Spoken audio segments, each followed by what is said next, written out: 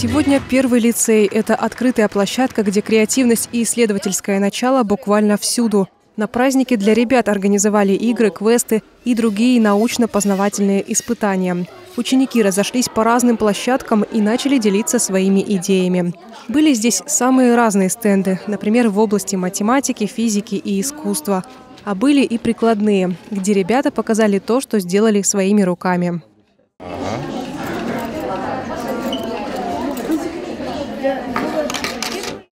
Говорят, современная школа должна выпускать не только академических гениев, но и тех, кто сам что-то делает, сам фантазирует, пытается исследовать даже, казалось бы, то, что сегодня уже открыто. Среди проектов есть и настоящий лингвистический анализ, проведенный ученицей пятого класса, которая взяла за основу слово «победа» и рассмотрела его происхождение в разных языках. Это слово играет большую роль в истории нашей страны. Мне очень понравилось переводить слово «победа» на разные языки. Перевод этого слова еще раз доказывает, что все языки связаны между собой. Не обошлось и без жизненно необходимых площадок. Так ребята, например, показывали, как можно самим добыть огонь. На фестивале школьникам также понравилось ставить физические эксперименты. В гости к ребятам пришла фотограф Марина Таренкова. С собой она взяла и своих животных – кролика Снежка, крысу Боню, улитку Мисулитишну и ежиху Марину, которая, правда, не захотела ни с кем встречаться.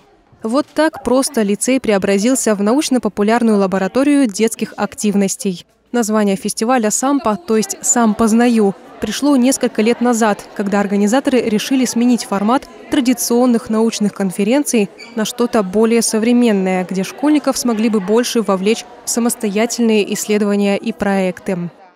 Я сегодня прошла по нескольким а, площадкам и с ребятами разговаривала, что заинтересовало, что было вот этим первым толчком. Конечно, это, ну, наверное, мне стало интересно, я хотел бы это узнать.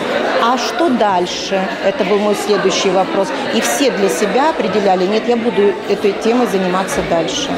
Ребята продолжат углубляться в свои проекты и изучать темы более досконально. Результаты своей работы они смогут представить уже на следующем фестивале «Сампа».